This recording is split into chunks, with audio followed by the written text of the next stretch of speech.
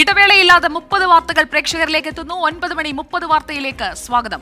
മുതിർന്ന കമ്മ്യൂണിസ്റ്റ് നേതാവും പത്രപ്രവർത്തകനുമായ ബർലിൻ കുഞ്ഞനന്ദൻ നായർ അന്തരിച്ചു. തൊണ്ണൂറ്റിയേഴ് വയസ്സായിരുന്നു. മുഖ്യമന്ത്രി പിണറായി വിജയൻ പ്രതിപക്ഷ നേതാവ് വി ഡി സതീശൻ അടക്കമുള്ള പ്രമുഖർ അനുശോചനം രേഖപ്പെടുത്തി. വൈകുന്നേരം ആറ് മണിയോടെ കണ്ണൂർ നാറാത്തി വീട്ടിലായിരുന്നു അന്ത്യം.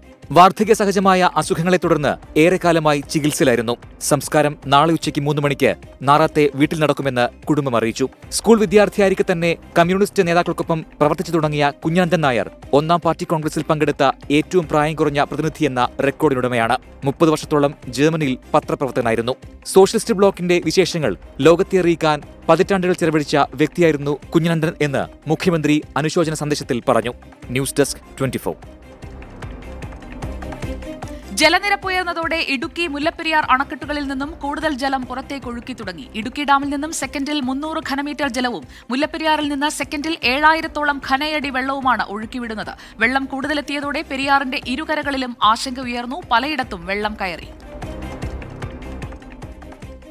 ഇടുക്കി അണക്കെട്ടിലെ ജലനിരപ്പ് രണ്ടായിരത്തി മുന്നൂറ്റി എൺപത്തിയാറ് ദശാംശം ഒരടിയായി ഉയർന്നതോടെയാണ് അഞ്ച് ഷട്ടർ ഉയർത്തി കൂടുതൽ ജലം പുറത്തേക്കൊഴുക്കുന്നത് സെക്കൻഡിൽ മൂന്ന് ലക്ഷം ലിറ്റർ വെള്ളം നിലവിൽ ഒഴുക്കിവിടുന്നുണ്ട്. മുല്ലപ്പെരിയാർ അണക്കെട്ടിലെ ജലനിരപ്പും കാര്യമായി ഉയർന്നിട്ടുണ്ട്. ജലനിരപ്പ് നൂറ്റി മുപ്പത്തിയൊൻപത് അടിക്ക് മുകളിലേക്ക് ഉയർന്നതോടെ സെക്കൻഡിൽ ഏഴായിരത്തി ഒരുന്നൂറ്റി മുപ്പത് ഘനയടി വെള്ളം ഒഴുക്കിവിടുകയാണ്. ആശങ്കപ്പെടേണ്ടതില്ലെന്നും ആവശ്യമെങ്കിൽ ആളുകളെ മാറ്റിപ്പാർപ്പിക്കുമെന്നും മന്ത്രി റോഷി അഗസ്റ്റിൻ പറഞ്ഞു. അതേസമയം ഇടുക്കി അണക്കെട്ടിൽ നിന്നും ചെറുതോണിപ്പുഴയിലേക്ക് കൂടുതൽ ജലമെത്തിയതോടെ തടിയമ്പാട് ചപ്പാത്തിൽ വെള്ളം കയറി. ഇതുവഴിയുള്ള ഗതാഗതം താൽക്കാലികമായി തടഞ്ഞു. മുല്ലപ്പെരിയാറിൽ നിന്നും കൂടുതൽ ജലം പുറത്തേക്കൊഴുക്കിയതിനെ തുടർന്ന് വണ്ടിപ്പെരിയാർ മഞ്ചുമല കറുപ്പുപാലം വള്ളക്കടവ് വികാസ് നഗർ എന്നിവിടങ്ങളിൽ ജനവാസ മേഖലകളിൽ ഏത് നിമിഷവും വെള്ളം കയറാവുന്ന അവസ്ഥയാണ്. ട്വന്റി ഇടുക്കി. മുല്ലപ്പെരിയാറിൽ നിന്നും കൂടുതൽ ജലം പുറത്തേക്കൊഴുക്കിയതോടെ ആശങ്കയിലാണ് പെരിയാർ തീരം. ആറായിരം ഘനയടിയിലേറെ വെള്ളം ഒഴുകിയെത്തിയതോടെ തീരത്തെ വീടുകളിൽ വെള്ളം കയറി. കനത്ത മഴ കൂടി തുടർന്നാൽ രണ്ടായിരത്തി പതിനെട്ട് ആവർത്തിക്കുമോ എന്നാണ് തീരവാസികളുടെ പേടി. കൈപ്പിടിയിൽ ഒതുങ്ങുന്നതുമെടുത്ത് പെരിയാർ തീരത്തെ ആളുകൾ ഈ നിസ്സഹായ യാത്ര തുടങ്ങിയിട്ട് വർഷങ്ങൾ ഒരുപാടായി. ഇതുവരെയും പരിഹാരമായിട്ടില്ല. മുല്ലപ്പെരിയാറിൽ നിന്ന് അധിക ജലം എത്തിയതോടെ മഞ്ചുമല ആറ്റോരം കറുപ്പുപാലം എന്നിവിടങ്ങളിലെ വീടുകളിൽ വെള്ളം കയറി തുടങ്ങി. മേളിൽ പോകണം വെള്ളം വരുവാണെങ്കിൽ ഞങ്ങൾ മേളിലേ പോകാൻ പറ്റുള്ളൂ. മേളിൽ പോയി അവിടെ എവിടെയെങ്കിലും മാറി നിൽക്കും. പിന്നെ മഴ മാറി വെള്ളമൊക്കെ വലിയുമ്പോൾ വീട്ടിൽ വന്നു സ്ഥലമൊന്നും ഇല്ല. ഇനി എങ്ങോട്ടെങ്കിലും പോകണം അപ്പുറത്ത്. അധിക ജലം എത്തിയാൽ വള്ളക്കടവ് ഉൾപ്പെടെയുള്ള പ്രദേശങ്ങളിലെ വീടുകളിൽ വെള്ളം കയറും. കഴിഞ്ഞ വർഷം പത്തിലേറെ തവണ മുല്ലപ്പെരിയാറിൽ നിന്നും വെള്ളമൊഴുക്കിയപ്പോൾ അഞ്ചിലധികം തവണ വീടുകൾ വെള്ളത്തിനടിയിലാകുന്ന സ്ഥിതി ഉണ്ടായിരുന്നു സുനിൽ സുരേന്ദ്രനൊപ്പം രാഹുൽ വിജയൻ ട്വന്റി ഇടുക്കി. ജലനിരപ്പ് ഉയർന്നതോടെ സംസ്ഥാനത്തെ നാലു ഡാമുകൾ കൂടി തുറന്നു. കക്കി പമ്പ ബാണാസുരസാഗർ മാട്ടുപ്പെട്ടി ഡാമുകളുടെ ഷട്ടറുകൾ ഉയർത്തി. മഴക്കെടുതിയെ തുടർന്ന് നൂറ് കോടിയിലധികം രൂപയുടെ കൃഷിനാശം സംഭവിച്ചതാണ് സർക്കാരിന്റെ പ്രാഥമിക കണക്ക്. പത്തനംതിട്ട കക്കി ഡാമിലെ നാല് ഷട്ടറുകളിലൂടെ എഴുപത്തിരണ്ട് ക്യുമെക്സും പമ്പ ഡാമിന്റെ രണ്ട് ഷട്ടറുകളിലൂടെ ഇരുപത്തിയഞ്ച് ക്യുമിക്സ് ജലവുമാണ് ഒഴുക്കുന്നത്. പമ്പ നദിക്കരയിലുള്ളവർ ജാഗ്രത പുലർത്തണം. വയനാട് ബാണാസുര ഡാമിൽ ജലനിരപ്പ് എഴുന്നൂറ്റി എഴുപത്തിനാല് ദശാംശം മൂന്ന് അഞ്ച് മീറ്ററിലെത്തിയതോടെ രണ്ട് ഷട്ടറുകൾ ഇരുപത് സെന്റിമീറ്റർ തുറന്ന പതിനേഴ് ക്യൂബിക് മീറ്റർ വെള്ളം ഒഴുക്കി തുടങ്ങി. മൂന്നാർ മാട്ടുപ്പെട്ടി ഡാമിന്റെ സ്പിൽവേ ഷട്ടറുകളും തുറന്നിട്ടുണ്ട്. ഇടമലയാർ ഡാമുകളുടെ ഷട്ടറുകളും ഉടൻ തുറക്കും. അതേസമയം മഴക്കെടുതിയെ തുടർന്ന് കൃഷി നശിച്ച കർഷകർക്ക് അടിയന്തരമായി നഷ്ടപരിഹാരം നൽകുമെന്ന് മന്ത്രി പി പ്രസാദ് ഉറപ്പു നൽകി. വിവിധ ബ്യൂറോകൾക്കൊപ്പം ട്വന്റി ആലപ്പുഴ. സംസ്ഥാനത്ത് ഒറ്റപ്പെട്ട ശക്തമായ മഴ തുടരുമെന്ന് കാലാവസ്ഥാ കേന്ദ്രത്തിന്റെ മുന്നറിയിപ്പ്. പത്തു ജില്ലകളിൽ ഇന്ന് യെല്ലോ അലർട്ട്. ബംഗാൾ ഉൾക്കടലിലെ ന്യൂനമർദ്ദം തീവ്ര ന്യൂനമർദ്ദമാകാനുള്ള സാധ്യത കണക്കിലെടുത്ത് ജാഗ്രത തുടരാനാണ് നിർദ്ദേശം. മധ്യ വടക്കൻ ജില്ലകളിലാണ് കൂടുതൽ മഴ സാധ്യത. കോട്ടയം മുതൽ കാസർഗോഡ് വരെയുള്ള പത്ത് ജില്ലകളിൽ ഇന്ന് യെല്ലോ അലർട്ടായിരുന്നു. ബംഗാൾ ഉൾക്കടലിൽ രൂപം കൊണ്ട ന്യൂനമർദ്ദം തീവ്ര ന്യൂനമർദ്ദമാകാൻ സാധ്യതയുണ്ട്. അങ്ങനെയെങ്കിൽ സംസ്ഥാനത്ത് മഴ കനക്കും. കിഴക്കൻ മേഖലയിൽ കൂടുതൽ ജാഗ്രത വേണമെന്നാണ് നിർദ്ദേശം. നാളെ എട്ട് ജില്ലകളിലും മറ്റന്നാൾ ഏഴ് ജില്ലകളിലും മഴ മുന്നറിയിപ്പുണ്ട്. കേരള കർണാടക ലക്ഷദ്വീപ് തീരങ്ങളിൽ മത്സ്യബന്ധനത്തിന് ഏർപ്പെടുത്തിയ വിലക്കും തുടരുകയാണ്. സംസ്ഥാനത്താകെ മുന്നൂറ്റി അൻപത്തിയേഴ് ദുരിതാശ്വാസ ക്യാമ്പുകളിലായി പതിനാലായിരത്തി എഴുന്നൂറ്റി എഴുപത്തിരണ്ട് പേരെ മാറ്റിപ്പാർപ്പിച്ചിട്ടുണ്ട്. ദുരന്ത നിവാരണ പ്രവർത്തനങ്ങൾക്കായി എത്തിയ എൻ ഡി ആർ എഫിന്റെ പതിനൊന്ന് സംഘങ്ങൾ വിവിധ ജില്ലകളിൽ തുടരുകയാണ്. Twenty four Thiruvananthapuram. കാലാവധി അവസാനിക്കുന്ന ലോകായുക്ത ഭേദഗതി ഉൾപ്പെടെയുള്ള ഓർഡിനൻസുകളിൽ കണ്ണും പൂട്ടി ഒപ്പിടില്ലെന്ന് ഗവർണർ ആരിഫ് മുഹമ്മദ് ഖാൻ. ഓർഡിനൻസ് രാജ് അംഗീകരിക്കില്ലെന്നും ഗവർണർ കൂട്ടിച്ചേർത്തു. അതേസമയം ഓർഡിനൻസ് ഭരണം സർക്കാർ നിലപാടല്ലെന്ന് വ്യക്തമാക്കിയ നിയമമന്ത്രി പി രാജീവ് ഗവർണർ ഓർഡിനൻസിൽ ഒപ്പിടുമെന്നാണ് പ്രതീക്ഷയെന്നും വ്യക്തമാക്കി. സർക്കാരിന്റെ അനുനയ നീക്കങ്ങളും വിശദീകരണങ്ങളും തള്ളിയ ഗവർണർ ആരിഫ് മുഹമ്മദ് ഖാൻ നിലപാട് കടുപ്പിക്കുകയാണ്. ഓർഡിനൻസുകൾ പരിശോധിച്ചു മാത്രമേ തീരുമാനമെടുക്കൂവെന്നും എല്ലാത്തിനും കൃത്യമായ വിശദീകരണം വേണമെന്നുമാണ് ഗവർണറുടെ നിലപാട്. ഓർഡിനൻസ് ഭരണത്തിനാണെങ്കിൽ നിയമനിർമ്മാണ സഭകളുടെ ആവശ്യമെന്തെന്നും ഗവർണർ ചോദിച്ചു. Give me enough time. Why all these so many ordinances should come on one day? അതേസമയം ഓർഡിനൻസ് രാജ് എന്ന ഗവർണറുടെ ആക്ഷേപം മന്ത്രി പി രാജീവ് തള്ളി. ഓർഡിനൻസുകൾ നിയമമാക്കുന്നതിന് പ്രത്യേക സഭാ സമ്മേളനം സർക്കാരിന്റെ പരിഗണനയിലാണെന്നും മന്ത്രി കൂട്ടിച്ചേർത്തു. കഴിഞ്ഞ ഒക്ടോബറിൽ പ്രത്യേകമായ സമ്മേളനം വിളിച്ചു ചേർത്ത് തന്നെ ഓർഡിനൻസ് സംവിധാനങ്ങൾ അവസാനിപ്പിക്കുക എന്ന ലക്ഷ്യം വെച്ചിട്ടാണ്. ഓർഡിനൻസുകൾ ലാപ്സായാൽ ലോകായുക്തയ്ക്ക് പഴയ അധികാരം പുനഃസ്ഥാപിക്കപ്പെടും. അങ്ങനെ വന്നാൽ ദുരിതാശ്വാസ ഫണ്ട് വകമാറ്റിയെന്ന ആരോപണത്തിൽ മുഖ്യമന്ത്രിക്കെതിരായ കേസിലുൾപ്പെടെ ലോകായുക്തയുടെ തുടർ നീക്കങ്ങൾ നിർണായകവുമാകും. ട്വന്റി ഡൽഹി തിരുവനന്തപുരം. റോഡിലെ കുഴികളെ ചൊല്ലി പൊതുമരാമത്ത് മന്ത്രിയും പ്രതിപക്ഷ നേതാവും തമ്മിലെ വാക്പോര് തുടരുന്നു. മന്ത്രി പി എ മുഹമ്മദ് റിയാസ് പഴയ പൊതുമരാമത്ത് മന്ത്രിയെ കണ്ട് ഉപദേശം തേടണമെന്ന പ്രതിപക്ഷ നേതാവ് വി ഡി സതീശൻ. താനൊരു മഹാനെന്നാണ് പ്രതിപക്ഷ നേതാവിന്റെ വിചാരമെന്ന് മന്ത്രിയുടെ മറുപടി. നെടുമ്പാശ്ശേരിയിൽ റോഡിലെ കുഴിയിൽ വീണ് വീണ്ടും അപകടം. കുഴികൾ മൂടണമെന്നാവശ്യപ്പെട്ട് യുവജന സംഘടനകൾ പ്രതിഷേധിച്ചു. നെടുമ്പാശ്ശേരി കരിയാട് മറ്റൂർ റോഡിൽ കുഴിയിൽ സൈക്കിൾ വീണാണ് പതിമൂന്ന് വയസ്സുകാരിയായ അലീനയ്ക്കും ജൂഹിക്കും പരുക്കേറ്റത്. പുറകിലേക്ക് വന്ന വാഹനത്തിന് സൈഡ് കൊടുക്കുന്നതിനിടയിൽ സൈക്കിൾ റോഡിലെ കുഴിയിൽ വീണാണ് അപകടമുണ്ടായത്. പെരുമ്പാവൂർ എം സി റോഡിൽ സ്കൂട്ടർ കുഴിയിൽ വീണ് കാലടി സ്വദേശി സ്മിതയ്ക്കും പരുക്കേറ്റു. ദേശീയപാതയിലെ കുഴികൾക്ക് കേന്ദ്ര സംസ്ഥാന സർക്കാരുകൾ ഒരുപോലെ ഉത്തരവാദികളാണെന്ന് പ്രതിപക്ഷ നേതാവ് വി ഡി സതീശൻ പ്രതികരിച്ചു. പ്രതിപക്ഷ നേതാവിന്റെ വിമർശനങ്ങൾക്ക് മന്ത്രി പി എ മുഹമ്മദ് റിയാസിന്റെ മറുപടി ഇങ്ങനെ. കേന്ദ്ര സർക്കാരുമായി ബന്ധപ്പെട്ട പ്രശ്നത്തിൽ കേന്ദ്ര സർക്കാരിനെ വിമർശിക്കേണ്ട വിഷയത്തിൽ എൻ എച്ച് എയെ വിമർശിക്കേണ്ട വിഷയത്തിൽ അതിൽ കക്ഷിയല്ലാത്ത പി ഡബ്ല്യു ഡിയെ പിടിച്ച് കൊണ്ടുവരുന്നത് എന്തിനാണ് എന്നുള്ളത് സ്വാഭാവികമായിട്ടും ഞാൻ ചോദിച്ചാണ്. നെടുമ്പാശ്ശേരിയിൽ ദേശീയപാതയിലെ കുഴിയിൽ വീണ് ബൈക്ക് യാത്രക്കാരൻ മരിച്ച സംഭവത്തിൽ കരാർ കമ്പനിയായ ഗുരുവായൂർ ഇൻഫ്രാസ്ട്രക്ചറിനെതിരെ പോലീസ് കേസെടുത്തു. ട്വന്റി കൊച്ചി. സംസ്ഥാനത്തെ ദേശീയപാതകൾ അടക്കമുള്ള റോഡുകൾ ഒരാഴ്ചയ്ക്കകം നന്നാക്കണമെന്ന് ഹൈക്കോടതിയുടെ കർശന നിർദ്ദേശം. ജില്ലാ കളക്ടർമാർക്ക് മൂകസാക്ഷികളായി ഇരിക്കാനാകില്ലെന്ന് വ്യക്തമാക്കിയ ജസ്റ്റിസ് ദേവൻ രാമചന്ദ്രൻ. റോഡുകളെ കൊലനിലങ്ങളാക്കാൻ കഴിയില്ലെന്ന് നിരീക്ഷിച്ചു. റോഡിലെ കുഴികൾക്ക് മഴയെ കുറ്റപ്പെടുത്തിയ ദേശീയപാത അതോറിറ്റി ഓഫ് ഇന്ത്യയെ ഹൈക്കോടതി കണക്കറ്റ് ശകാരിച്ചു. കോടതി പറഞ്ഞത് നടപ്പാക്കുമെന്ന് പൊതുമരാമത്ത് മന്ത്രി പി എ മുഹമ്മദ് റിയാസ് പ്രതികരിച്ചു. ദേശീയപാതയുടെ അടക്കം റോഡുകളുടെ ശോച്യാവസ്ഥയിൽ അതിരൂക്ഷമായ വിമർശനമാണ് ജസ്റ്റിസ് ദേവൻ രാമചന്ദ്രന്റെ ബെഞ്ചിൽ നിന്നുണ്ടായത്. റോഡപകടങ്ങൾ മനുഷ്യനിർമ്മിത ദുരന്തമാണ് ജില്ലാ കളക്ടർമാർ കൃത്യമായി ഇടപെടൽ നടത്തേണ്ട വിഷയം. എന്നാൽ പതിനാല് ജില്ലാ കളക്ടർമാരും എന്ത് നടപടിയാണ് സ്വീകരിച്ചത്? മഴയെ കുറ്റപ്പെടുത്തിയ ദേശീയപാത അതോറിറ്റി ഓഫ് ഇന്ത്യയെ ഹൈക്കോടതി വെറുതെ വിട്ടില്ല. കേരളത്തിൽ മാത്രമല്ല ദേശീയപാതകൾ ഉള്ളത്. ഇത്രയും മോശമായ റോഡുകൾ മറ്റൊരിടത്തുമില്ലെന്ന് ഹൈക്കോടതി നിരീക്ഷിച്ചു. മഴയുടെ പരിമിതിയുണ്ടെങ്കിലും ഹൈക്കോടതി പറഞ്ഞത് ശരിയായി നടപ്പാക്കാനാണ് പൊതുമരാമത്ത് വകുപ്പ് ഉദ്ദേശിക്കുന്നതെന്ന് മന്ത്രി പി എ മുഹമ്മദ് റിയാസ് പ്രതികരിച്ചു. M P Pradeep Kumar twenty four. Sangh Parivar സംഘടനയുടെ പരിപാടിയിൽ ഉദ്ഘാടകയായി പങ്കെടുത്ത കോഴിക്കോട് മേയർ ബീന ഫിലിപ്പിനെ തള്ളിപ്പറഞ്ഞ് സിപിഐഎം. പരിപാടിയിൽ പങ്കെടുത്ത മേയറുടെ നടപടി ശരിയായില്ലെന്ന് കോഴിക്കോട് ജില്ലാ സെക്രട്ടറി പി മോഹനൻ. മേയർക്കെതിരെ നടപടിയുണ്ടാകുമെന്ന് മന്ത്രി പി എ മുഹമ്മദ് റിയാസും വ്യക്തമാക്കി. ശ്രീകൃഷ്ണ ജയന്തിക്ക് മുന്നോടിയായി ബാലഗോകുലം കോഴിക്കോട് സംഘടിപ്പിച്ച മാതൃസമ്മേളനത്തിലാണ് കോഴിക്കോട് മേയർ ബീന ഫിലിപ്പ് ഉദ്ഘാടകയായി എത്തിയത്. സംഭവം വിവാദമായതോടെ സി പി എം ജില്ലാ നേതൃത്വം മേയറെ പരസ്യമായി തള്ളിപ്പറഞ്ഞു. കാലാകാലമായി ഉയർത്തിപ്പിടിക്കുന്ന പ്രഖ്യാപിതമായ നിലപാടിന് ഘടകവിരുദ്ധമാണ് ബാലഗോകുലത്തിന്റെ പരിപാടിക്ക് പോകരുതെന്ന് പാർട്ടി കർശനമായി പറഞ്ഞിട്ടില്ല എന്നായിരുന്നു വിവാദത്തിൽ മേയറുടെ ആദ്യ വിശദീകരണം. അതുപോലെ പല മാതൃസംഗമങ്ങളിലും ക്ലാസ് എടുക്കാൻ പോകുന്ന ആളല്ലേ?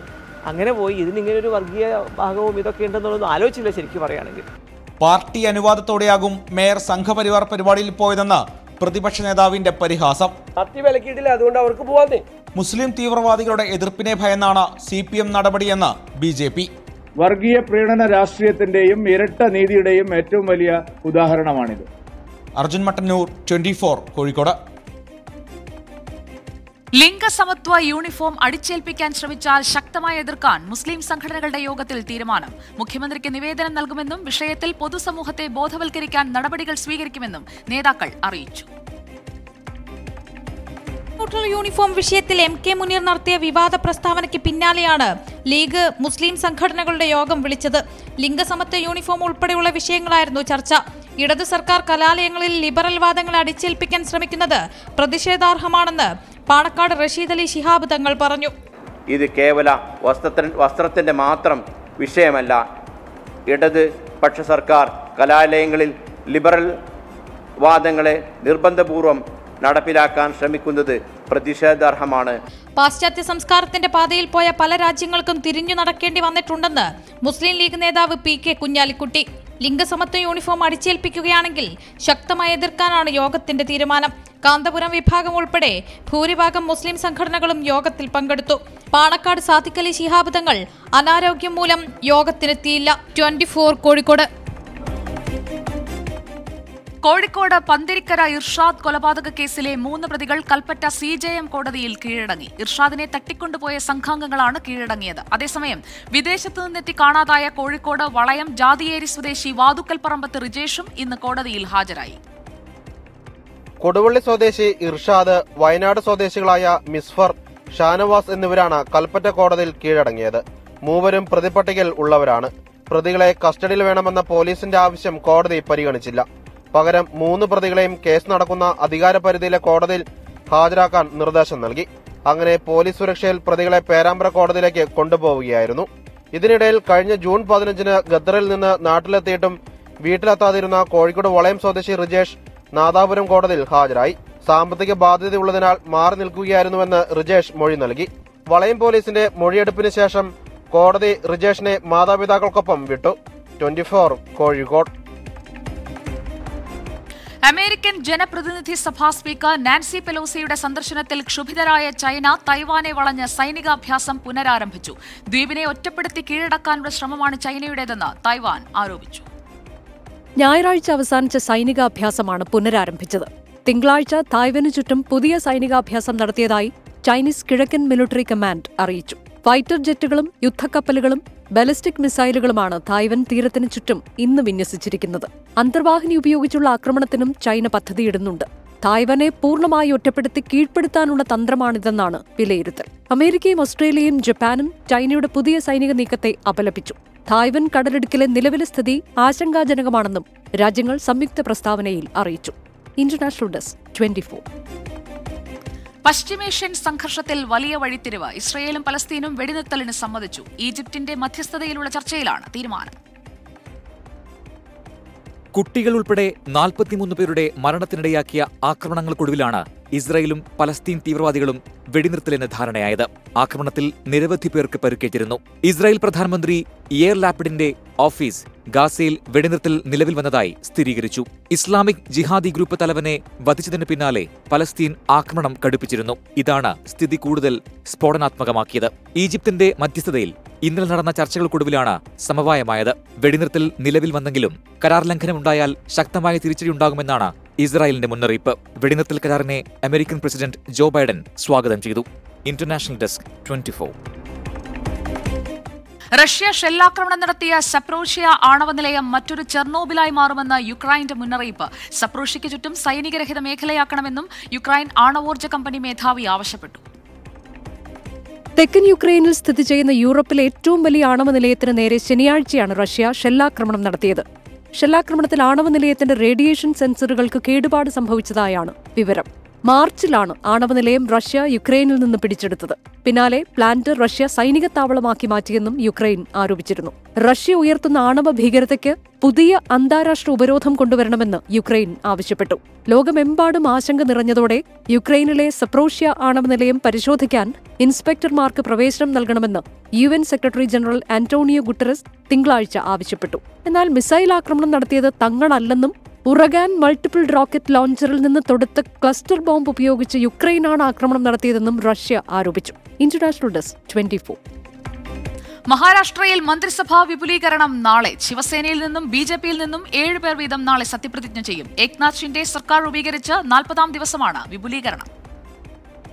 ശിവസേന വിമതരിൽ നിന്ന് ഏഴംഗങ്ങളും ബി ജെ പിയിൽ നിന്ന് ഏഴുപേരുമായി പതിനാല് മന്ത്രിമാർ നാളെ സത്യപ്രതിജ്ഞ ചെയ്യും. രാവിലെ പതിനൊന്നിന് രാജ്ഭവനിലാണ് സത്യപ്രതിജ്ഞാ ചടങ്ങ്. ആഭ്യന്തരമടക്കം സുപ്രധാനമായ മൂന്ന് വകുപ്പുകൾ ഉപമുഖ്യമന്ത്രി ദേവേന്ദ്ര ഫഡ്നാവിസ് കൈവശം വയ്ക്കും. മുഖ്യമന്ത്രി സ്ഥാനം വിട്ടുകൊടുത്തതിനാൽ നിർണായക വകുപ്പുകൾക്ക് ബി ജെ പി അവകാശവാദം ഉന്നയിച്ചിട്ടുണ്ട്. ഇതോടെ ഉദ്ധവ് താക്കറെയെ വിട്ടുവന്ന എം എൽ എമാർക്ക് നൽകിയ വാഗ്ദാനങ്ങൾ പാലിക്കാൻ കഴിയാതായതോടെയാണ് മന്ത്രിസഭാ വിപുലീകരണം നീണ്ടുപോയത്. ഏക്നാഥ് ഷിൻഡെ അഞ്ചു തവണ ഡൽഹിയിലെത്തി ബി ജെ പി കേന്ദ്ര നേതാക്കളുമായി ചർച്ച നടത്തിയെങ്കിലും ഫലം കണ്ടില്ല. ദേവേന്ദ്ര ഫഡ്നാവിസിന്റെ ഇടപെടലിലൂടെയാണ് ആദ്യഘട്ടത്തിൽ പതിനാല് പേർ സത്യപ്രതിജ്ഞ ചെയ്യാൻ തീരുമാനിച്ചത്. ട്വന്റി ഡൽഹി. കോൺഗ്രസ് അധ്യക്ഷ സോണിയാഗാന്ധിയുമായി സംസാരിച്ചതിന് പിന്നാലെ സമ്മർദ്ദം ശക്തമാക്കി ബിഹാർ മുഖ്യമന്ത്രി നിതീഷ് കുമാർ. ഭിന്നതയിൽ തുടരുന്ന J D U N D A സഖ്യം വിടുമെന്ന് സൂചന J D U M L എമാരുടെ യോഗം നാളെ പാറ്റ്നയിൽ ചേരും. നിർണായക രാഷ്ട്രീയ നീക്കത്തിലേക്കാണ് ബീഹാർ മാറുന്നത്. അഞ്ചു വർഷമായി തുടരുന്ന B J P J D U സഖ്യത്തിന്റെ ഭാവി ഇരുപത്തിനാല് മണിക്കൂറിനകം തെളിയുമെന്നാണ് J D U M L എമാർ വ്യക്തമാക്കുന്നത്. J D U M L എമാർ എം പിമാർ എം എൽ സി അംഗങ്ങളുടെ യോഗം നാളെ പാറ്റ്നയിൽ ചേരും. Congress R J D M L എമാരുടെ യോഗം ഇന്ന് ചേരുമെന്നാണ് സൂചന. ബീഹാറിൽ മഹാഗഡ്ബന്ധൻ സർക്കാരിനായി സഖ്യം വിടാൻ ഒരുങ്ങുന്ന ജെ ഡി യുവിന് കോൺഗ്രസ് പിന്തുണ നൽകിയിട്ടുണ്ട്.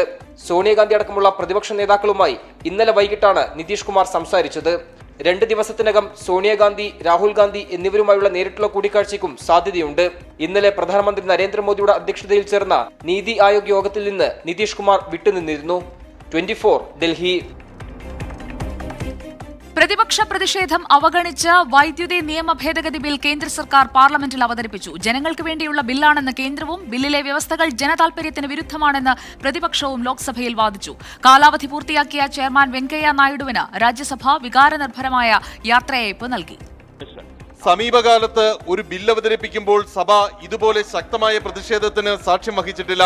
പ്രതിപക്ഷ നിരയിലെ ഏതാണ്ട് എല്ലാ നേതാക്കളും വൈദ്യുത ഭേദഗതി ബിൽ അവതരണത്തിനെതിരെ രംഗത്തെത്തി ബില്ല് ജനങ്ങളുടെ പ്രകാശം കെടുത്തുമെന്നായിരുന്നു പ്രതിപക്ഷത്തിന്റെ പൊതുനിലപാട് വിരമിക്കുന്ന ചെയർമാന് വികാരനിർഭരമായ യാത്രയയപ്പാണ് രാജ്യസഭ ഒരുക്കിയത് വെങ്കയ്യ നായിഡു രാജ്യസഭാ ചെയർമാൻ എന്ന നിലയിൽ യുവ അംഗങ്ങളോട് കാട്ടിയ സമീപനം മാതൃകാപരമാണെന്ന് പ്രധാനമന്ത്രി പറഞ്ഞു आप तो देश के एक ऐसे उपराष्ट्रपति हैं जिसने अपनी सभी भूमिकाओं में हमेशा യുവാവ് രാജ്യസഭയിലെ പ്രതിപക്ഷ നേതാവ് മല്ലികാർജുൻ ഖാർഗെയും വിരമിക്കുന്ന ചെയർമാനെ അഭിനന്ദിച്ചു. R Radhakrishnan twenty four Delhi. വൈദ്യുതി നിയമ ഭേദഗതിക്കെതിരെ സംസ്ഥാനത്തെ വൈദ്യുതി ബോർഡ് ജീവനക്കാരും ഓഫീസർമാരും പണിമുടക്കി. ഇതോടെ സംസ്ഥാനത്തെ വൈദ്യുതി മേഖല സ്തംഭിച്ചു. പണിമുടക്കിയ ജീവനക്കാർ വൈദ്യുതി ഭവന് മുന്നിൽ പ്രതിഷേധ ധർണ നടത്തി. പൊതുമേഖലയെ സംരക്ഷിക്കാനാണ് സമരമെന്നും അറ്റകുറ്റപ്പണികളെ സമരം ബാധിക്കില്ലെന്നും വൈദ്യുതി മന്ത്രി കെ കൃഷ്ണൻകുട്ടി പറഞ്ഞു. കേന്ദ്ര സർക്കാരിന്റെ തീരുമാനത്തിൽ പ്രതിഷേധിച്ച് നടക്കുന്ന രാജ്യവ്യാപക പണിമുടക്കിന്റെ ഭാഗമായാണ് കെ എസ് ഇ ബി ജീവനക്കാരും സംയുക്ത സമരസമിതിയുടെ നേതൃത്വത്തിൽ പണിമുടക്കിയത്. രാവിലെ തന്നെ ജോലി ബഹിഷ്കരിച്ച് തൊഴിലാളികളും ഓഫീസർമാരും ഓഫീസിൽ നിന്ന് പുറത്തിറങ്ങി. തിരുവനന്തപുരത്ത് വൈദ്യുതി ഭവന് മുന്നിൽ ജീവനക്കാർ ധർണ നടത്തി. മറ്റ് ഓഫീസുകൾക്ക് മുന്നിലും പ്രതിഷേധ പ്രകടനവും ധർണയും ഉണ്ടായിരുന്നു. ഭേദഗതി വരുന്നതോടെ സ്വകാര്യ കമ്പനികൾക്ക് കേരളത്തിന്റെ വൈദ്യുതി മേഖലയിലേക്ക് കടന്നു വരാൻ കഴിയും. പൊതുമേഖലയെ സംരക്ഷിക്കാനാണ് സമരമെന്ന് വൈദ്യുതി മന്ത്രി കെ കൃഷ്ണൻകുട്ടി പറഞ്ഞു.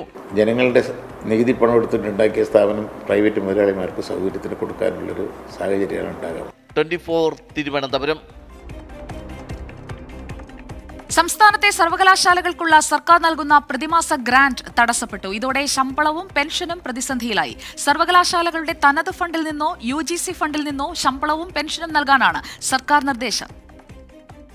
സംസ്ഥാനത്ത് ആദ്യമായാണ് സർവകലാശാലകൾക്കുള്ള സർക്കാരിന്റെ ഗ്രാന്റ് തടസ്സപ്പെടുന്നത്. കഴിഞ്ഞ മാസം ഇരുപത്തിരണ്ടാം തീയതി സർവകലാശാലകൾക്ക് പ്രതിമാസ ഗ്രാന്റ് അനുവദിച്ചുകൊണ്ട് ഉന്നത വിദ്യാഭ്യാസ വകുപ്പ് ഉത്തരവ് പുറപ്പെടുവിച്ചിരുന്നു. എന്നാൽ സാമ്പത്തിക പ്രതിസന്ധി കാരണം ധനവകുപ്പ് തുക അനുവദിച്ചില്ല. ശമ്പളവും പെൻഷനും മുടങ്ങുമെന്ന സാഹചര്യം വന്നതോടെ തനത് ഫണ്ടിൽ നിന്നോ യു ജി സി അനുവദിച്ചിട്ടുള്ള പദ്ധതി ഫണ്ടിൽ നിന്നോ ബാങ്കിൽ നിന്നോ ഓവർ ഡ്രാഫ്റ്റ് എടുത്ത് ശമ്പളവും പെൻഷനും നൽകാൻ സർക്കാർ നിർദ്ദേശം നൽകി. ഇത് പ്രകാരമാണ് ഈ മാസം ശമ്പളവും പെൻഷനും നൽകിയത്. പുതിയതായി സർവകലാശാലകൾ ആരംഭിച്ചതും നിലവിലെ സർവകലാശാലകളുടെ ആഭ്യന്തര വരുമാനം കുറഞ്ഞതുമാണ് സർവകലാശാലകളെ പ്രതിസന്ധിയിലാക്കുന്നത്. അധ്യാപക നിയമനങ്ങൾക്ക് വേണ്ടി കൂടുതൽ തുക ചെലവഴിക്കേണ്ടി വന്നത് സാമ്പത്തിക പ്രതിസന്ധി രൂക്ഷമാക്കി. ട്വന്റി തിരുവനന്തപുരം. കുറഞ്ഞ വിലയുള്ള ചൈനീസ് ഫോണുകൾ നിരോധിക്കാൻ സർക്കാർ തയ്യാറെടുക്കുന്നതായി റിപ്പോർട്ട്. പന്ത്രണ്ടായിരം രൂപയ്ക്ക് താഴെയുള്ള ചൈനീസ് ഫോണുകൾ നിരോധിക്കുന്നതാണ് സർക്കാരിന്റെ പരിഗണനയിൽ. തദ്ദേശ ബ്രാൻഡുകൾക്ക് അവസരം നൽകുന്നതിനാണ് ഈ നീക്കം. വില കുറഞ്ഞ മൊബൈൽ ഫോണുകളുടെ വിപണിയിൽ നിന്നും ചൈനീസ് കമ്പനികളെ ഒഴിവാക്കാൻ ലക്ഷ്യം വെച്ചുള്ള നീക്കമാണ് കേന്ദ്ര സർക്കാർ നടത്തുന്നത്. പന്ത്രണ്ടായിരം രൂപയ്ക്ക് താഴെയുള്ള ചൈനീസ് ഫോണുകൾ നിരോധിക്കാൻ സർക്കാർ തയ്യാറെടുക്കുന്നുവെന്നാണ് റിപ്പോർട്ട്. ഇന്ത്യയിൽ വിൽക്കുന്ന ഫോണുകളിൽ മൂന്നിലൊന്ന് പന്ത്രണ്ടായിരം രൂപയിൽ താഴെ വില വരുന്നവയാണ്. ഇതിൽ എൺപത് ശതമാനവും ചൈനീസ് കമ്പനികളുടെ ഫോണുകളാണ് വിൽക്കപ്പെടുന്നത്. ഈ ശ്രേണിയിൽ തദ്ദേശ കമ്പനികൾക്ക് അവസരം നൽകാൻ ലക്ഷ്യം വെച്ചാണ് സർക്കാരിന്റെ നീക്കം. ഷവോമി റിയൽമി ട്രാൻഷൻ തുടങ്ങിയ ബ്രാൻഡുകളെയാകും ഈ നടപടി ഗുരുതരമായി ബാധിക്കുക. അതിർത്തി സംഘർഷത്തിന് പിന്നാലെ ചൈനീസ് കമ്പനികളോടുള്ള നിലപാട് കേന്ദ്ര സർക്കാർ കടുപ്പിച്ചിരുന്നു. ട്വന്റി ഡൽഹി. ട്രെയിനിൽ കടത്താൻ ശ്രമിച്ച ഒന്നര കിലോ സ്വർണം കസ്റ്റംസ് പ്രിവന്റീവ് വിഭാഗം പിടികൂടി. തമിഴ്നാട് മധുര സ്വദേശികളായ മഹേന്ദ്രകുമാർ ശ്രീധരൻ എന്നിവരെയാണ് കസ്റ്റഡിയിലെടുത്തത്. സ്വർണക്കടത്ത് തട്ടിക്കൊണ്ടുപോകൽ കൊലപാതകം വലിയ വിവാദമായി നിലനിൽക്കെയാണ്. കോഴിക്കോട് നിന്നും ഒന്നര കിലോ കള്ളക്കടത്ത് സ്വർണം കസ്റ്റംസ് പിടികൂടിയത്. ഇർഷാദിന്റെ കൊലപാതക കേസിൽ പോലീസിന്റെ അന്വേഷണം മലബാറിലെ സ്വർണക്കടത്തു സംഘങ്ങളിലേക്ക് വ്യാപിക്കുന്നതിനിടയിലാണ് ഈ വലിയ സ്വർണക്കടത്തുവേട്ട എന്നത് നിർണായകമാണ്. കോഴിക്കോട് നിന്നും ഒന്നര കിലോ സ്വർണം മധുരയിലേക്ക് കടത്തുന്നതിനിടയിലാണ് റെയിൽവേ സ്റ്റേഷനിൽ വെച്ച് കസ്റ്റംസ് പ്രിവന്റീവ് ഡിവിഷൻ ഈ വൻ വേട്ട നടത്തിയത്. തമിഴ്നാട്ടിലെ മധുര സ്വദേശികളായ ഹേമേന്ദ്രകുമാറും ശ്രീധരനുമാണ് പിടിയിലായത്. ഇവർ കരിയർമാർ മാത്രമാണെന്നാണ് കസ്റ്റംസിന്റെ കണ്ടെത്തൽ. കള്ളക്കടത്ത് സ്വർണ ഇടപാടുകാരനായ അജ്മലാണ് സ്വർണം നൽകിയതെന്ന് പ്രതികൾ പറയുന്നു. എഴുപത്തിയേഴ് ലക്ഷം വില വരുന്ന സ്വർണമാണ് കസ്റ്റംസ് ഇന്ന് പിടികൂടിയത്. Twenty four Kozhikode. Ernakulam deputy കളക്ടർക്കെതിരെ ഗുരുതര ആരോപണങ്ങളുമായി റവന്യൂ റിക്കവറി തഹസിൽദാർ. തട്ടിപ്പിന് കൂട്ടുനിൽക്കാത്തതിന് ഡെപ്യൂട്ടി കളക്ടർ എസ് ഷാജഹാൻ പ്രതികാര നടപടി സ്വീകരിക്കുന്നുവെന്നാണ് തഹസിൽദാരുടെ പരാതി. ലാൻഡ് റവന്യൂ കമ്മീഷണർക്ക് നൽകിയ പരാതിയുടെ പകർപ്പ് ട്വന്റി ഫോറിന് ലഭിച്ചു. രണ്ടായിരത്തി ഇരുപത്തിയൊന്ന് സെപ്റ്റംബർ മാസത്തിൽ നെടുമ്പാശ്ശേരി കൊച്ചി അന്തർദേശീയ വിമാനത്താവളം പൊന്നുംവില തഹസിൽദാരായിരുന്നു പരാതിക്കാരനായ വിനോദ് മുല്ലശ്ശേരി. ഈ സമയത്ത് സീപോർട്ട് എയർപോർട്ട് റോഡിന്റെ സെക്കൻഡ് ഫേസിൽപ്പെട്ട പാലത്തിന്റെ അപ്രോച്ച് റോഡിനായി ഏറ്റെടുത്ത ഭൂമിയുടെ അവാർഡ് തയ്യാറാക്കുന്നതിനിടെ രണ്ട് പോയിന്റ് മൂന്ന് അഞ്ച് കോടി രൂപയുടെ നഷ്ടപരിഹാരം കണക്കാക്കിയ ഭൂമിക്ക് നാല് പോയിന്റ് പൂജ്യം ആറ് കോടി രൂപ നൽകാൻ ഡെപ്യൂട്ടി കളക്ടർ നിർദ്ദേശിച്ചുവെന്നും ഇത് അനുസരിക്കാതെ വന്നപ്പോൾ സ്ഥലം മാറ്റുകയും ചെയ്തുവെന്നും പരാതിയിൽ പറയുന്നു. ശേഷവും തനിക്കെതിരെ പ്രതികാര നടപടി തുടരുകയാണെന്ന് തഹസിൽദാർ കുറ്റപ്പെടുത്തുന്നു. എ ഡി എം എസ് ഷാജഹാനെതിരെ തഹസിൽദാർ വിനോദ് മുല്ലശ്ശേരി ലാൻഡ് റവന്യൂ കമ്മീഷണർക്ക് നൽകിയ പരാതിയുടെ പകർപ്പ് ട്വന്റി ഫോറിന് ലഭിച്ചു. Twenty four Kochi. പട്ടികജാതി പട്ടികവർഗ വിഭാഗങ്ങൾക്ക് അനുവദിക്കുന്ന പെട്രോൾ പമ്പുകളും ഗ്യാസ് ഏജൻസികളും ബിനാമികൾ തട്ടിയെടുക്കുന്നതിൽ കർശന നടപടി. ബിനാമികൾ തട്ടിയെടുത്ത ഒൻപത് പെട്രോൾ പമ്പുകൾ തിരികെ നൽകാൻ പട്ടികജാതി പട്ടികവർഗ കമ്മീഷൻ ഉത്തരവിട്ടു. പമ്പുകളും ഗ്യാസ് ഏജൻസികളും തട്ടിയെടുക്കുന്നത് തടയാൻ മാർഗനിർദ്ദേശങ്ങളിൽ കാതലായ മാറ്റം വരുത്താൻ കേന്ദ്ര പെട്രോളിയം മന്ത്രാലയത്തോട് നിർദ്ദേശിച്ചു. സാമ്പത്തിക ബുദ്ധിമുട്ടുള്ളവർക്ക് ഇരുപത്തിയഞ്ച് ലക്ഷം രൂപ വായ്പ നൽകാനും ഉത്തരവിൽ പറയുന്നുണ്ട്. ട്വന്റി ഇംപാക്ട് പട്ടികജാതി പട്ടികവർഗ വിഭാഗക്കാർക്ക് അനുവദിക്കുന്ന പെട്രോൾ പമ്പുകളും ഗ്യാസ് ഏജൻസികളും ബിനാമികൾ തട്ടിയെടുക്കുന്നത് ട്വന്റി ഫോർ ആണ് പുറത്തു കൊണ്ടുവന്നത്. തട്ടിപ്പല്ല തനിക്കുള്ള എന്ന വാർത്താ പരമ്പരയ്ക്ക് പിന്നാലെ സംസ്ഥാന സർക്കാരും സംസ്ഥാന പട്ടികജാതി പട്ടികവർഗ കമ്മീഷനും ഇടപെട്ടു. പമ്പുകൾ അനുവദിക്കുമ്പോഴുള്ള മാർഗനിർദ്ദേശങ്ങളിൽ ഭേദഗതി വരുത്താൻ പെട്രോളിയം കമ്പനികൾക്കും പെട്രോളിയം മന്ത്രാലയത്തിനും നിർദ്ദേശം നൽകി. സാമ്പത്തിക ബാധ്യതയും ലാഭവിഹിതവും മാർഗനിർദ്ദേശങ്ങളിൽ ഉൾപ്പെടുത്തണം. ഇരുപത്തഞ്ച് ശതമാനം ഓഹരി നൽകേണ്ടി വന്നാൽ എസ് സി എസ് ടി വിഭാഗത്തിൽപ്പെട്ടവരെ പാർട്ട്ണർമാരാക്കണം സാമ്പത്തിക പ്രതിസന്ധി പരിഹരിക്കാൻ എസ് സി എസ് ടി വികസന കോർപ്പറേഷൻ വഴി വായ്പ അനുവദിക്കണമെന്ന മന്ത്രി കെ രാധാകൃഷ്ണൻ നിർദ്ദേശിച്ചിരുന്നു. ഇത് കോർപ്പറേഷൻ അംഗീകരിച്ചു. സാമ്പത്തിക പ്രതിസന്ധിയുള്ള ഡീലർമാർക്ക് ഇരുപത്തഞ്ച് ലക്ഷം വരെ കോർപ്പറേഷൻ വഴി വായ്പ അനുവദിക്കും. ഇതും കമ്മീഷന്റെ ഉത്തരവിലുണ്ട്. V A Girish twenty four Thiruvananthapuram. ധനവകുപ്പ് അനുവദിച്ച ഇരുപത് കോടി രൂപ അക്കൗണ്ടിലെത്തുന്നതോടെ കെ എസ് ആർ ടി സിയിലെ ഡീസൽ പ്രതിസന്ധിക്ക് താൽക്കാലിക പരിഹാരമുണ്ടാകുമെന്ന് മന്ത്രി ആന്റണി രാജു. ശമ്പളത്തിനായി പണം വകമാറ്റിയതാണ് പ്രതിസന്ധിക്ക് കാരണമെന്നും മന്ത്രി. അതേസമയം കെ എസ് ആർ ടി സിയെ തകർക്കാൻ സർക്കാർ ശ്രമിക്കുകയാണെന്ന് പ്രതിപക്ഷ നേതാവ് ആവർത്തിച്ചു. സർക്കാർ അനുവദിച്ച ഇരുപത് കോടി രൂപ നടപടിക്രമങ്ങൾ പൂർത്തീകരിച്ച് ബുധനാഴ്ചയോടെ കെ എസ് ആർ ടി സിയുടെ അക്കൗണ്ടിലെത്തുമെന്നാണ് പ്രതീക്ഷ. എണ്ണ കമ്പനികൾക്ക് നൽകാനുള്ള പതിമൂന്ന് കോടി രൂപ കുടിശ്ശിക ഇതുപയോഗിച്ച് തീർക്കാനാണ് നീക്കം. ഡീസൽ പ്രതിസന്ധിക്കും അതിനെ തുടർന്നുണ്ടായ സർവീസ് വെട്ടിക്കുറയ്ക്കലിനും ഇതുവഴി താൽക്കാലിക പരിഹാരം കാണാനാകും. എന്നാൽ കെ എസ് ആർ ടി സിയെ സർക്കാർ തകർക്കുകയാണെന്ന ആരോപണം ആവർത്തിക്കുകയാണ് പ്രതിപക്ഷം. കേരളത്തിലെ പൊതുഗതാഗത സംവിധാനം ഇത്രമാത്രം തകർന്ന ഒരു കാലഘട്ടം ഉണ്ടായിട്ടില്ല. ഡീസൽ പ്രതിസന്ധി പരിഹരിക്കപ്പെട്ടാലും ഇതുവരെ തുടങ്ങിയിട്ടില്ലാത്ത ജൂലൈ മാസത്തെ ശമ്പള വിതരണം കെ എസ് ആർ ടി സിക്ക് മുന്നിലെ അടുത്ത വെല്ലുവിളിയാകും. Twenty four Thiruvananthapuram. തിരുവനന്തപുരം കേശവദാസപുരത്ത് വയോധികയെ കൊലപ്പെടുത്തിയ കേസിൽ പ്രതി പിടിയിൽ. ചെന്നൈ റെയിൽവേ സ്റ്റേഷനിൽ നിന്നാണ് ആദം അലി പിടിയിലായത്. അന്വേഷണ സംഘം ചെന്നൈക്ക് തിരിച്ചു. പ്രതി തമ്പാനൂർ റെയിൽവേ സ്റ്റേഷനിൽ നിന്ന് രക്ഷപ്പെടുന്ന ദൃശ്യങ്ങൾ പുറത്തുവന്നു കേശവദാസപുരത്ത് റിട്ടയേർഡ് സർക്കാർ ഉദ്യോഗസ്ഥ മനോരമയെ കൊലപ്പെടുത്തിയ ശേഷം പ്രതി ആദം അലി ചെന്നൈയിലേക്ക് കടന്നുവെന്ന് പോലീസിന് വിവരം ലഭിച്ചിരുന്നു. തമ്പാനൂർ റെയിൽവേ സ്റ്റേഷനിലെത്തിയ ശേഷം പ്രതി ട്രെയിനിൽ കടന്നതിന്റെ സി സി ടി വി ദൃശ്യങ്ങൾ പോലീസ് പരിശോധിച്ച് സ്ഥിരീകരിച്ചു. തിരുവനന്തപുരം സിറ്റി പോലീസിന്റെ സന്ദേശത്തിന്റെ അടിസ്ഥാനത്തിൽ ചെന്നൈ റെയിൽവേ സ്റ്റേഷനിൽ ആർ പി എഫ് ആണ് ആദമലിയെ പിടികൂടിയത്. ചെന്നൈയിൽ നിന്ന് കൊൽക്കത്തയിലേക്ക് കടക്കാനായിരുന്നു നീക്കം. തിരുവനന്തപുരത്ത് നിന്ന് പോലീസ് സംഘം ചെന്നൈയിലേക്ക് തിരിച്ചിട്ടുണ്ട്. നാളെ തന്നെ ഇയാളെ തിരുവനന്തപുരത്ത് എത്തിക്കാനാണ് നീക്കം. കൊലപാതകത്തിനായി ആദമലിക്ക് മറ്റാരുടെയെങ്കിലും സഹായം ലഭിച്ചിട്ടുണ്ടോ എന്ന് പോലീസ് പരിശോധിച്ചു വരികയാണ്. ട്വന്റി തിരുവനന്തപുരം. ഭീകരവാദ പ്രവർത്തനത്തിന് ഉപയോഗിക്കുന്ന സാറ്റലൈറ്റ് ഫോണുമായി പിടിയിലായ യു എ ഇ പൗരനെ രാജ്യത്തു നിന്ന് രക്ഷപ്പെടാൻ മുഖ്യമന്ത്രി പിണറായി വിജയനും മുൻ പ്രിൻസിപ്പൽ സെക്രട്ടറി എം ശിവശങ്കറും വഴിയൊരുക്കിയെന്ന ആരോപണവുമായി സ്വർണക്കടത്ത് കേസ് പ്രതി സ്വപ്ന സുരേഷ്. രണ്ടായിരത്തി പതിനേഴ് ജൂലൈ നാലിന് നെടുമ്പാശ്ശേരിയിലെത്തിയ യു എ പൗരൻ Khazan Muhammad Alawi Al Jafri Al ഹാഷ്മിക്ക് രക്ഷപ്പെടാൻ വഴിവിട്ട ഇടപെടലുണ്ടായെന്നാണ് ആരോപണം. മുഖ്യമന്ത്രി പിണറായി വിജയൻ മുൻ പ്രിൻസിപ്പൽ സെക്രട്ടറി എം ശിവശങ്കർ എന്നിവർക്കെതിരെ പുതിയ ആരോപണവുമായി സ്വർണക്കടത്ത് കേസ് പ്രതി സ്വപ്ന സുരേഷ് രംഗത്ത്. ഭീകരവാദ പ്രവർത്തനത്തിൽ ഉപയോഗിക്കുന്ന സാറ്റലൈറ്റ് ഫോണുമായി പിടിയിലായ യു എ ഇ പൗരനെ രാജ്യത്ത് നിന്ന് രക്ഷപ്പെടാൻ വഴിയൊരുക്കിയെന്നാണ് ആരോപണം. തനിക്ക് നേരിട്ടറിവുള്ള കാര്യമാണെന്നും യു എ ഇ പൗരന്റെ മോചനത്തിനായി കോൺസുലേറ്റ് ജനറൽ കോടതിക്ക് കത്ത് നൽകിയെന്നും എഫ് ഐ ആറിന്റെയും രേഖകളുടെയും പകർപ്പ് പുറത്തുവിട്ടുകൊണ്ട് സ്വപ്ന സുരേഷ് പറഞ്ഞു. യു എ മകളുടെ ബിസിനസ് താൽപ്പര്യം മുൻനിർത്തിയായിരുന്നു മുഖ്യമന്ത്രിയുടെ ഇടപെടലുകൾ. യു എ ഇ പൗരന്റെ പക്കലുണ്ടായിരുന്നത് ഭീകരപ്രവർത്തനത്തിന് ഉപയോഗിക്കുന്ന കൊറിയൻ നിർമ്മിത തുറയ സാറ്റലൈറ്റ് ഫോണാണെന്നും സ്വപ്ന സുരേഷ് ചൂണ്ടിക്കാട്ടി. ട്വന്റി കൊച്ചി. നടിയെ ആക്രമിച്ച കേസുമായി ബന്ധപ്പെട്ട വ്യാജ വാട്സാപ്പ് ചാറ്റുകളിൽ ക്രൈംബ്രാഞ്ച് അന്വേഷണം ആരംഭിച്ചു. കോട്ടയം ക്രൈംബ്രാഞ്ച് എസ് പിയുടെ നേതൃത്വത്തിലാണ് അന്വേഷണം. കേസിൽ ഷോൺ ജോർജിനെയും അനൂപിനെയും പ്രതി ചേർത്തു അതിജീവിതയുമായി അടുപ്പമുള്ളവരുടെ പേരിൽ വാട്സാപ്പിൽ വ്യാജ അക്കൗണ്ടുകൾ നിർമ്മിച്ചായിരുന്നു ചാറ്റുകൾ. മഞ്ജു വാര്യർ ബൈജു കൊട്ടാരക്കര ആഷിഖബു ആലപ്പി അഷറഫ് ലിബർട്ടി ബഷീർ എന്നിവരും മുതിർന്ന മാധ്യമപ്രവർത്തകരും തമ്മിലുള്ള സംഭാഷണം വ്യാജമായി സൃഷ്ടിച്ചു. ദിലീപിനെതിരെ നിരന്തര വ്യാജ വാർത്തകൾ ചമയ്ക്കണമെന്നായിരുന്നു ചാറ്റുകൾ. തുടർന്ന് ബൈജു കൊട്ടാരക്കര നൽകിയ പരാതിയുടെ അടിസ്ഥാനത്തിലാണ് എഫ്ഐആർ രജിസ്റ്റർ ചെയ്ത് ക്രൈംബ്രാഞ്ച് അന്വേഷണം ആരംഭിച്ചത്. അന്വേഷണ സംഘം ബൈജു കൊട്ടാരക്കരയുടെ മൊഴി രേഖപ്പെടുത്തി. ഷോൺ ജോർജ് ദിലീപിന്റെ സഹോദരൻ അനൂപ് എന്നിവരെയാണ് പ്രതി ചേർത്തത് മഞ്ജു വാര്യർ ഉൾപ്പെടെയുള്ളവരുടെ മൊഴി വരും ദിവസങ്ങളിൽ രേഖപ്പെടുത്തും. ട്വന്റി കൊച്ചി. ജെഇഇ മെയിൻ രണ്ടായിരത്തി ഇരുപത്തിരണ്ടിലെ ഫലം പ്രഖ്യാപിച്ചപ്പോൾ ചരിത്ര നേട്ടവുമായി പാലാ ബ്രില്യന്റിലെ വിദ്യാർത്ഥികൾ. നൂറ് പെർസെന്റായി സ്കോർ നേടി തോമസ് ബിജു ചീരംവേലിൽ സംസ്ഥാനത്ത് ഒന്നാം സ്ഥാനം നേടി. ബ്രില്യന്റിലെ ആയിരത്തി ഇരുന്നൂറിലേറെ വിദ്യാർത്ഥികളാണ് ജെഇഇ അഡ്വാൻസ്ഡ് യോഗ്യത നേടിയത്. കേരള ചരിത്രത്തിൽ ആദ്യമായി നൂറ് പെർസെന്റൈൽ സ്കോർ നേടിയ വിദ്യാർത്ഥിയാണ് തോമസ് ബിജു ചീരാമ്പേലിൽ അഖിലേന്ത്യാ തലത്തിൽ ഈ മിടുക്കന് പതിനേഴാം റാങ്കാണ്. പെൺകുട്ടികളുടെ വിഭാഗത്തിൽ സംസ്ഥാനത്ത് ഒന്നാം സ്ഥാനം തൃശൂർ സ്വദേശിനി ആൻമേരിക്കാണ്. ഓൾ ഇന്ത്യ റാങ്ക് നൂറ്റി അറുപത്തിമൂന്ന് പഠിച്ചത് വഴി എനിക്ക് എൻ എസ് സിയിലും കെ വി പി വൈയിലും ബോർഡ് എക്സാമിലും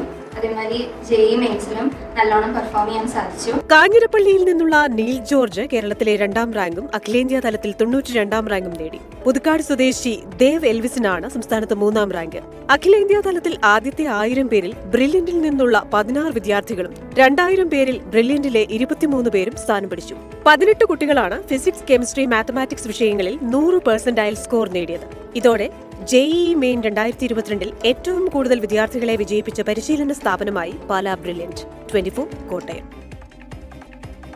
ഒൻപത് മണി മുപ്പത് വാർത്ത പൂർണമാവുകയാണ്.